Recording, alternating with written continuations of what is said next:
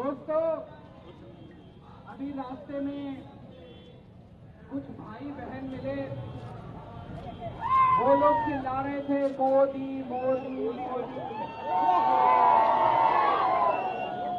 मैं उन सबसे कहना चाहता हूँ कि आप जो भी बोल रहे हैं, आप बोलते रहिए, मैं मना नहीं करूँगा।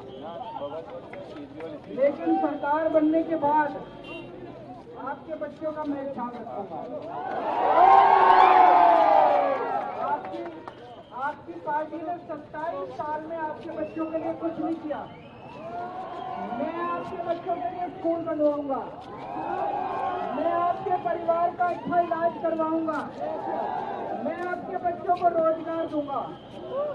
आप जिस मर्ज़ी पार्टी को वोट दो, मुझे कोई दिक्कत नहीं है। मेरा हमेशा कोशिश ये रहेगी कि मैं एक दिन आपका भी दिल जीतूँगा। आपका दिल जीतना मेरा मकसद है। आपके वोट पे मेरी नज़र नहीं है। आपके दिल पे मेरी नज़र है। जब पूरे गुजरात के साढ़े छह करोड़ लोग एक साथ सारे जने मिलके आम आदमी पार्टी में शामिल होंगे दोस्तों।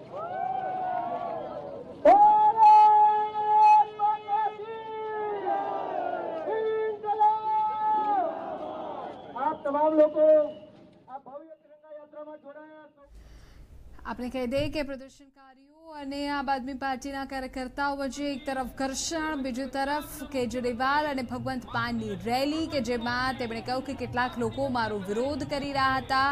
વિરોધથી મને વાંધો નથી, પણ સરકાર બન્યા બાદ હું તમારું ધ્યાન રાખીશ. શિક્ષણ, રોજગાર અને સ્વાસ્થ્ય સંબંધી સેવાઓ આપીશ.